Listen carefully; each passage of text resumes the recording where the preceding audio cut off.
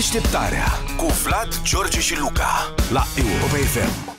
Întâmplarea care urmează este pentru toți studenții cu prestanță, care au în toamnă o restanță. Așa. Practic, toți studenții serioși din țara asta. Un domn chinez care a dispărut timp de 16 ani după ce nu a reușit să termine cursurile universitare, s-a reîntâlnit în sfârșit cu familia lui. Domnul Wang, acum în vârstă de 39 de anișori, era, din câte înțelegem, un student eminent.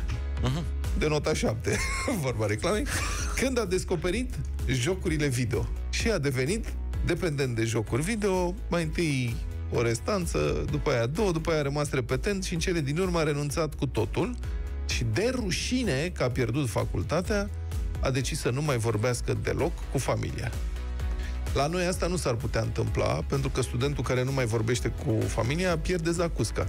Corect. Zacusca de dependență mult mai tare decât joc. Cum să nu mai vorbești cu mami și cu mătușa și cu bunica când îți trimit zacuscă? Fără zacuscă nu, viața nu merită trăită. Da, da, de multe ori durata studiilor e aceeași. Și asta e adevărat. Și ne-au învățat și mulți politicieni.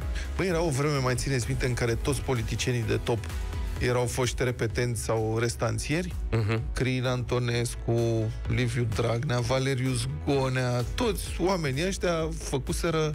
Cred că și domnul Tăricianu la un moment dat avea o problemă cu mai mulți ani. Nu vreau să mă înșel. În fine, deci domnul Vang a fost Știrea este așa că l-au identificat, oficialii au descoperit că era pe lista persoanelor date dispărute. Când Mamă. el s-a dus, deci el a lucrat ca zilier. În principiu lucra ca zilier sau în slujbe în care nu trebuia să se înregistreze uh-huh. la autorități. Dar la un moment dat i-a expirat buletinul. S-a dus să-și facă buletin și marele frate chinez a observat și a înștiințat familia și formularea este așa.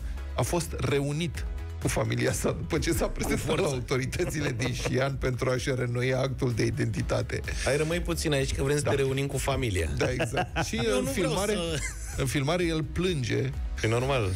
cerându-și scuze și mulțumind partidului, presupun. Păi da, bine, el, aia, e- noi nu putem uh, hali cu că din cauza că n-a terminat facultatea, n-a mai dat ochii cu familia. El vrea să aibă liniște, să se joace pe calculator, să nu mai burie măsa la cap.